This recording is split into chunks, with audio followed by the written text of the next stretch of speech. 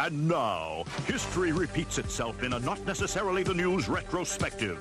It's not deja vu, it's only an encore you may have seen before.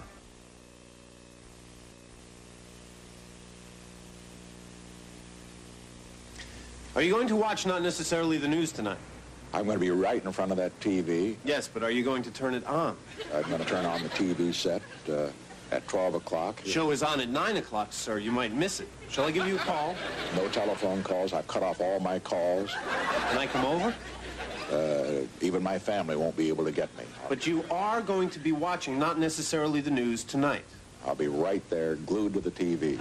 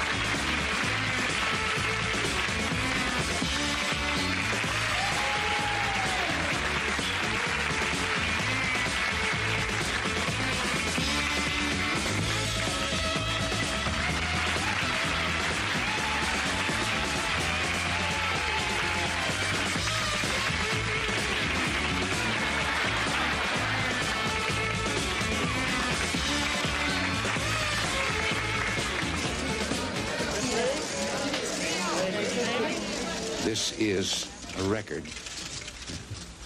It's a two-year review that will be distributed to all of you of what has been accomplished in the government in these two years. Of boring winter vacations? Well, stop shivering and come aboard. Spend the winter with us. There's excitement aplenty at prices even you can afford. On our world-famous trouble spots of the Caribbean cruise. That's right. Picture yourself in battle-scarred El Salvador, where civil war has driven hotel rates down to almost nothing. You'll be greeted by a right-wing death squad, then let go in the scenic countryside, where you'll encounter wandering bands of armed leftists seeking revenge. Next stop, explosive Honduras, where you'll take part in the secret CIA invasion of neighboring Nicaragua. When you see what the dollar's worth in the ravaged Nicaraguan economy, you'll go on a shopping spree in modern downtown Managua. But be sure to bring your handgun, because hatred of Americans is widespread. Then it's on to savage Guatemala, a bargain hunter's paradise, where after generations of senseless killing, life itself is cheap. But that's not all. Those passengers still with the cruise will enjoy our bonus tour, Flashpoints of South America. You love the movie Missing. Now visit the country. Dangerous Chile. And finally, in vicious Argentina, where military madmen start working the drop of a hat. You'll disappear without a trace. So take a chance on our trouble spots of the Caribbean cruise. You won't live to regret it. I'm Harry Reasoner. I'm Morley Safer. I'm Mike Wallace. I'm Ed Bradley. And, we're, selling this watch. It's spring of 1983, and you're looking at flood country, those areas of the United States where flash floods have been particularly severe. But flash floods can cause an equally devastating problem. It's known as flash drainage. When floodwaters recede faster than victims can be rescued.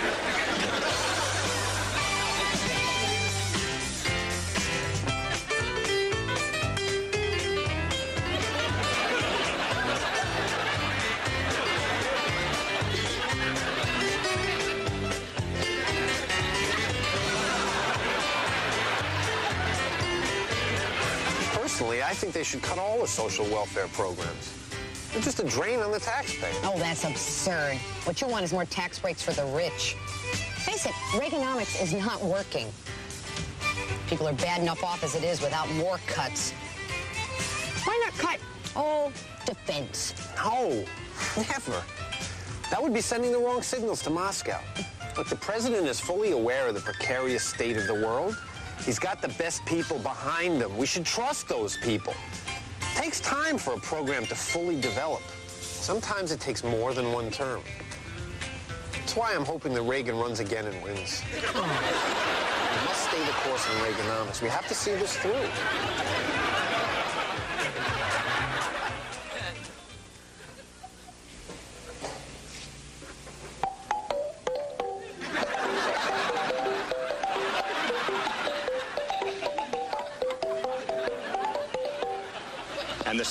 Promise is the promise to, um,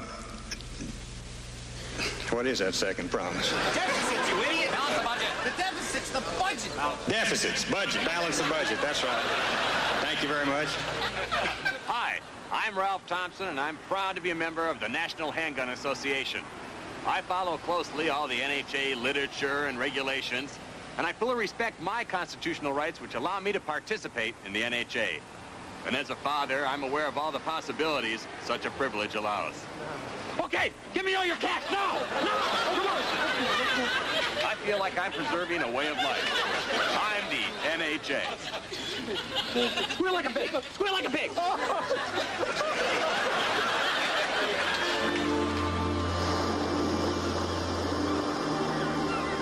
Come away with us and leave reality behind. Deranged hallucination where bare-chested men on horseback ride out of the ocean and into your life for no reason at all.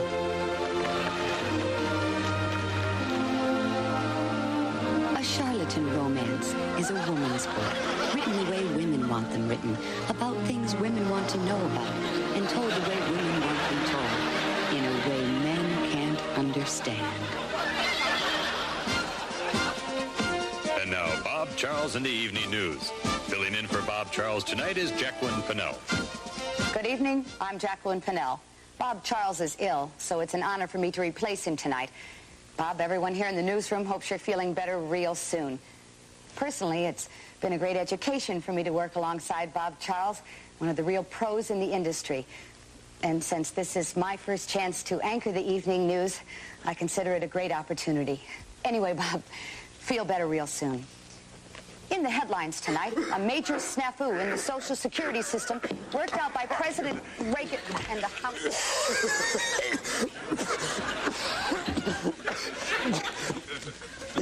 Good evening. I'm Bob Charles. I'm in...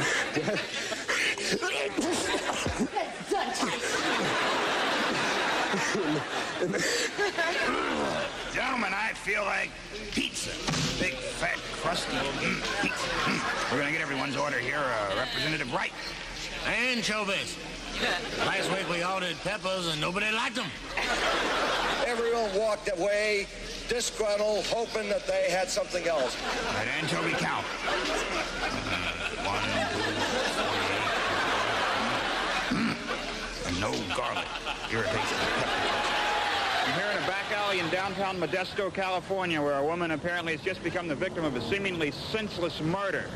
There's uh, been no motive as of yet established by the police, but they are looking for a suspect, reported to be wearing a dark burgundy jacket with white sleeves, a yellow scarf, and a blue baseball cap.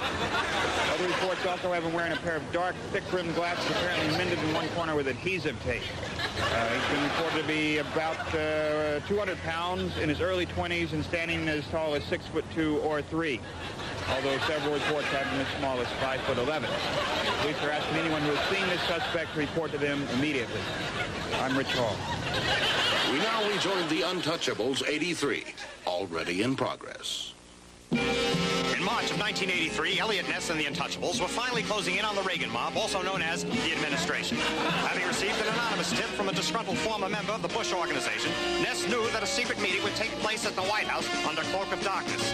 There, Ness hoped to spring a trap on the following gangland figures. James the Torch Watt, sought for the wanton destruction of over 4 million square miles of U.S. government property.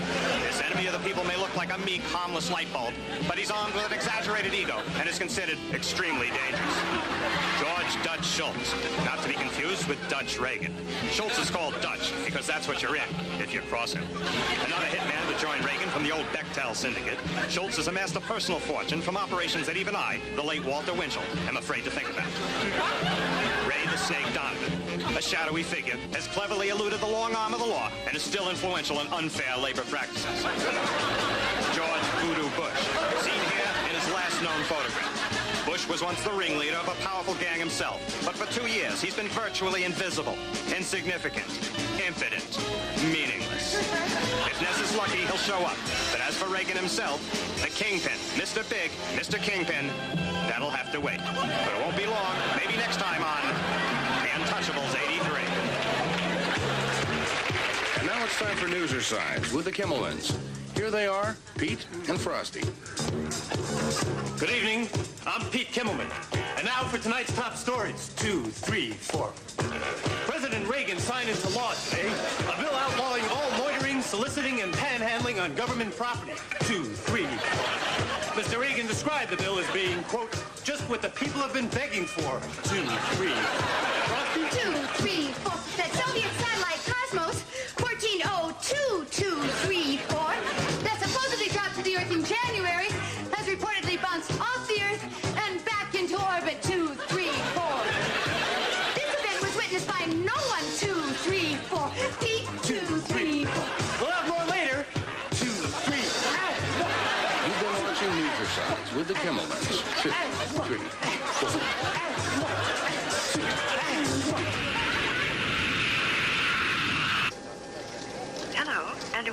Aboard Air Orient Flight 23, bound for Tokyo, Japan.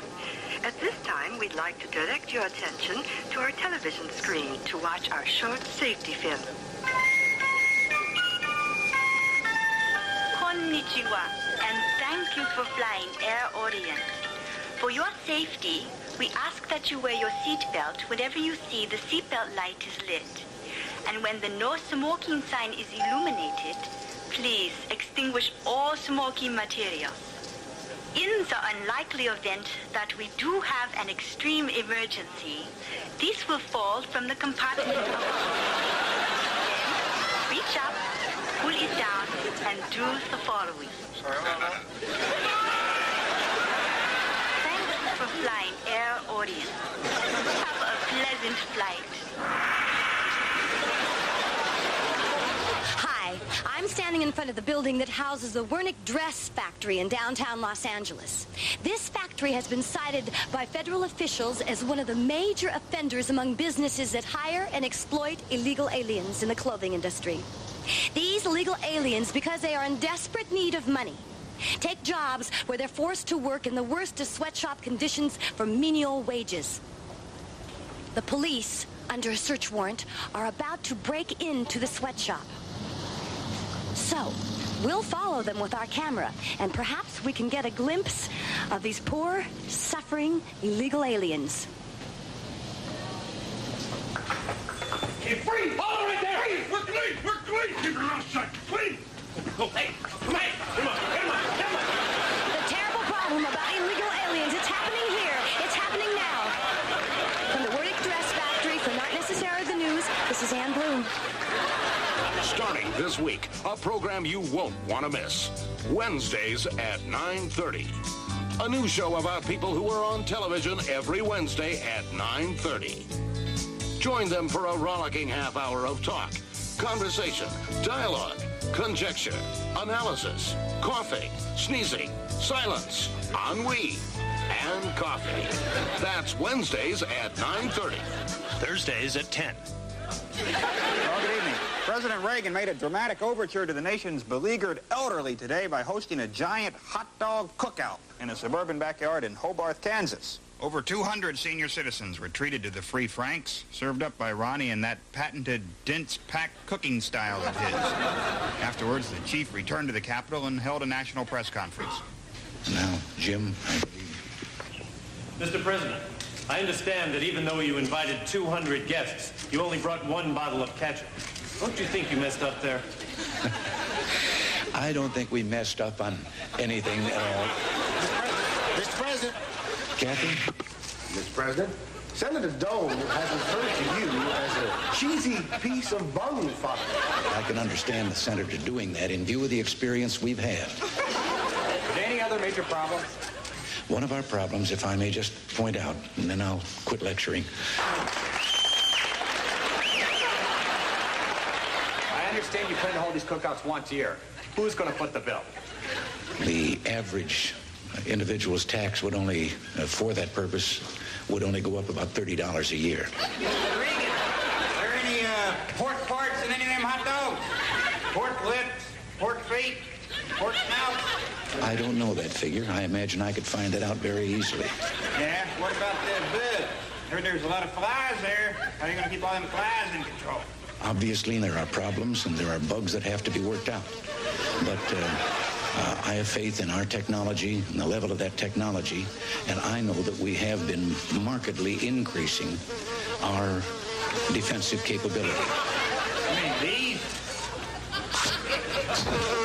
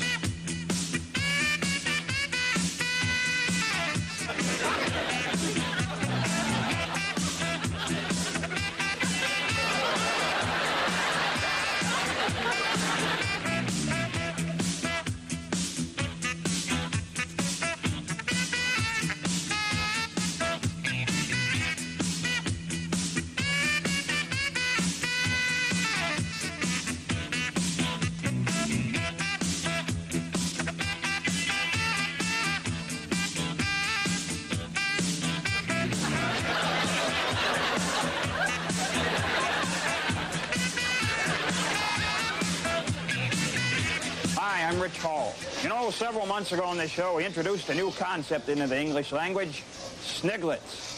Now, a sniglet is any word that should be in the dictionary, but isn't. For instance, the word spratchets, which are those uh, giant windshield wiper-looking things you always find at checkout counters. Now, you don't have to go beyond your local supermarket to find a good half dozen sniglets. Spirols are the star-shaped marks on the ends of hot dogs. Now, squimmets are those disgusting threads that you always find hanging from bananas whenever you. This is a mott spur, pesky fourth wheel on that shopping cart. Never seems to get along with the other three. The act of taking food from one section of the store and replacing it in another section is known as perpetation. And it's a seasoned perpetrator who can camouflage these foods effectively. These misplaced foods are known as food flotsam, and they have a pretty mysterious way of showing up on your grocery bill. By all means, keep those sniglets coming, folks. We can use them. Mail them to Sniglets, P.O. Box 27901, Hollywood, California. 90027. It's one of these swank T-shirts if we happen to like it and use it on the air. Thanks a lot. And by all means, watch out for strumbles. Those unseen objects you always pretend made you trip when it was actually your own stupid clumsiness. I have asked Vice President Bush. Your Bush. And now, a special message to taxpayers from the IRS. Hello, taxpayers. You all remember last year's complicated long form, Form 1040, the tricky short form, Form 1040A, and the not-so-easy Form 1040EZ. This year, the Reagan administration is eliminating these dinosaurs in favor of Form 10, the extremely short form. The extremely short form is also extremely simple. It's basically a flat rate tax. If you're poor, you're taxed at a flat rate of 85%. For example, if last year you earned $800, your tax obligation is $680. Wow, that's a big chunk. Doesn't leave you much. But hey, if you're rich, throw the form away. You pay no taxes. Easy, huh? It's our way of saying, if you've got it, you can keep it.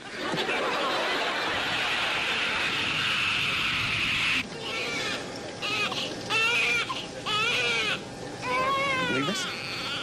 This has been going on 25 minutes. I want to say something. No, please, honey, come on. It's driving me crazy. Every time we take a trip, there is always something especially designed to annoy us. Last time it was the uh, drunk. And the woman, shut up. Look, she couldn't help it. She needed to talk. Oh, really? Well, I paid for my ticket, too. I'm going to say something. No, Roger, please. Excuse me. Would you please turn that thing off?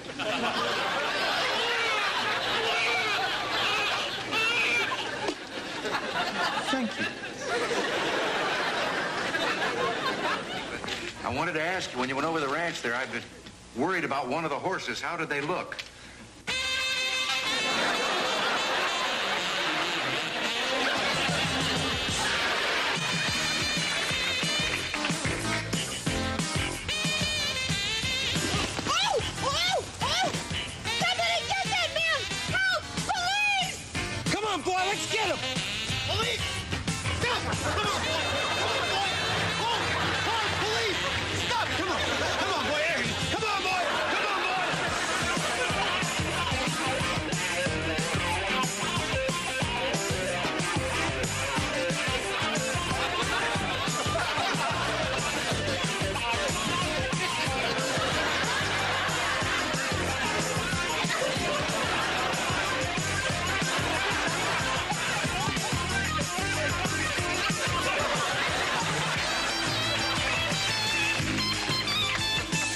Us learn by other people's mistakes. The rest of us have to be other people. Oh, God, is that true? That is, Mr. President. Mr. President, sir, please, come in. I'm all ready for you. It's good to see you, sir. Okay, okay. Oh, boy. Oh, boy. Looks like we've got a big job ahead of us. So, let's get started with the uh, haircut. Huh?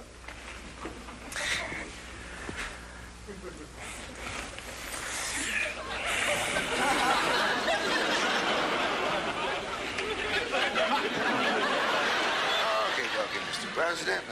Look at you. Good, good, good.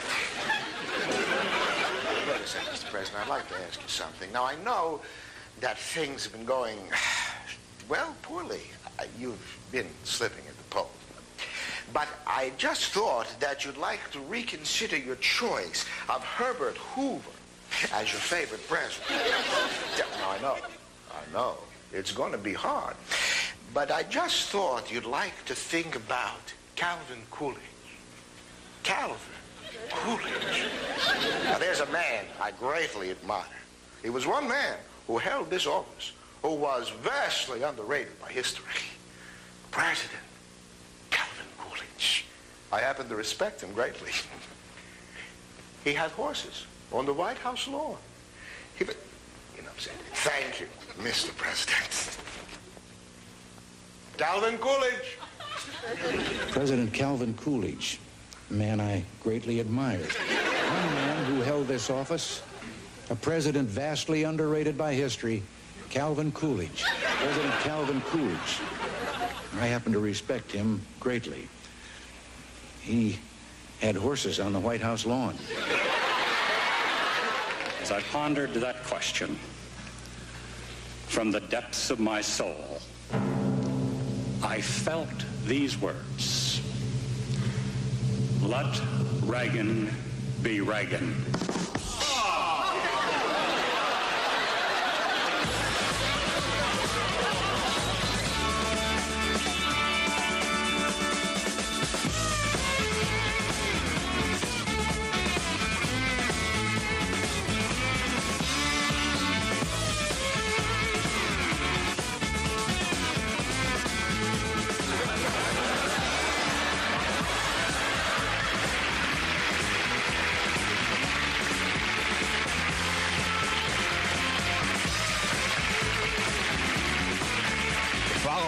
Sniglets were used on the air.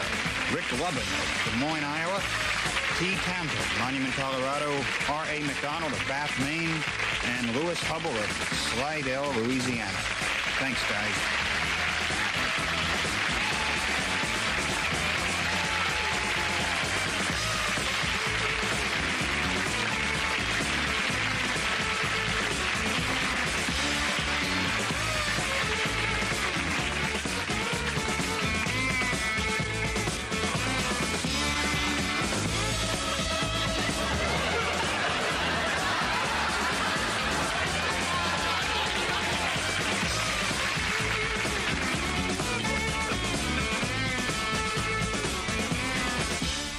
Night America with Mitchell Laurance and Anne Bloom.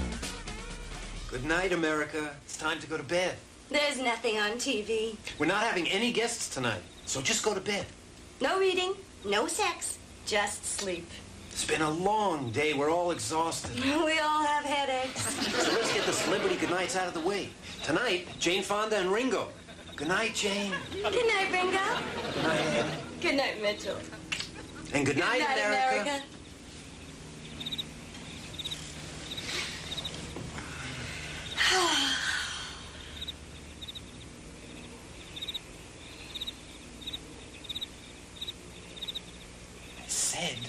good night. Get some rest. Just go to sleep. Annie. Annie, they won't go to sleep. Turn off the set and go to bed. Go on. Come on. What are you people, deaf? Leave us alone. Get some you sleep. Go to sleep.